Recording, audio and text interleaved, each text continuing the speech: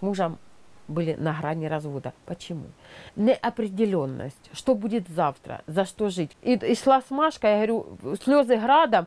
Чи под машину кинуться, вот просто уже, чтобы не видеть все это, вот, покончить жизнь самоубийством. То есть уже доходит, как вы понимаете, в мозгах уже иногда вот доходишь до, до вот этого. Что слава Богу, что опять та же Лариса волонтер посоветовала иди на станцию Харьков, те волонтеры направили сюда, что я как бы имею крышу над головой.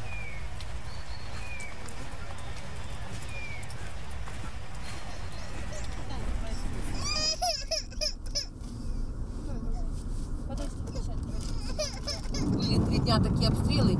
Честно, было такое, что я мужу скинула смс не знаю, есть она в этом телефоне, чтобы показать, не, что я с ним прощалась.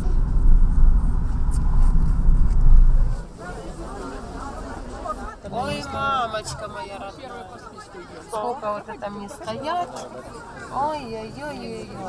Сейчас еще мото будет и все. Девочки, пропустите с ребенком. С ребенком пропустите. Пропустите, пожалуйста.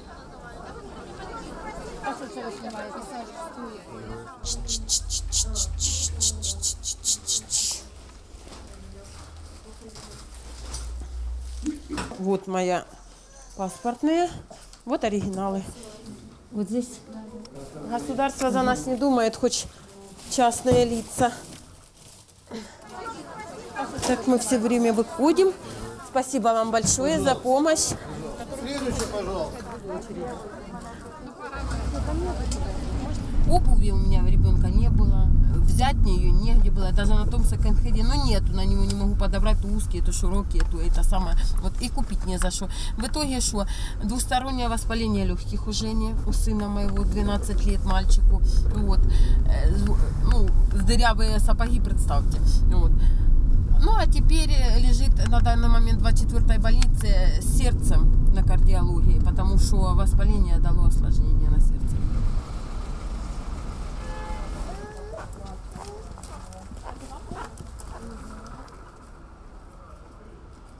Мы сегодня уже с ним виделись два раза, да?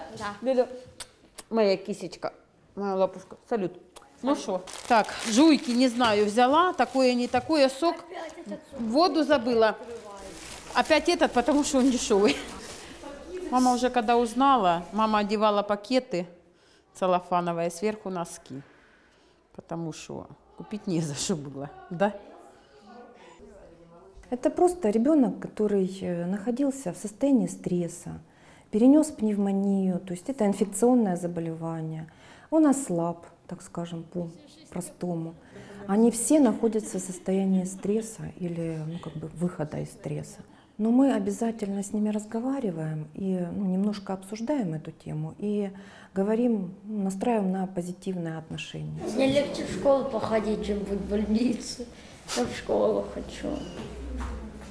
Мне скучно. Тем более у меня понедельник день рождения. Моя сыночка. Понедельник день рождения. Только не плачь. Не плачь. Сынок. О, здрасте.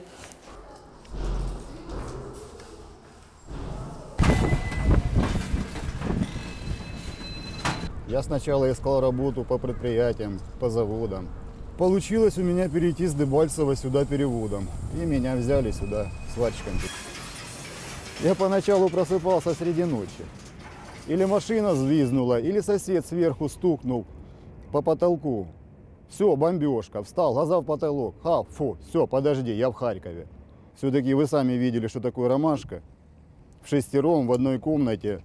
Туалет соседний корпус, вода соседний корпус. Действительно с нуля. Ни кружки, ни ложки, ни гармошки. Есть такая черноглазовка.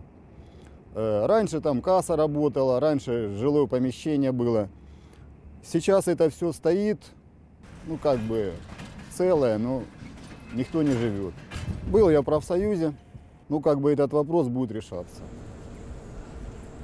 Вот эта Черноглазовка, Черногоровка, не знаю, ну, например, я даже не видела, что, честно, я даже не видела, это как бы все слухи, может, там э, совсем где-то глушь, меня это не интересует. Мне самое главное, что там я могу распахать землю, я в городе, я сельская баба, я не могу жить в городе. Конечно, лучше где-то сельская местность, где-то э, под Харьком, чтобы я могла завести себе корову, э, троих быков. Косить я сама умею, кошу на раз-два. У меня мурашки по телу, когда я представляю, что закроют этот проект. Вот я представляю, закрываю глаза, представляю, куда я пойду. Вот открытое небо, куда я пойду.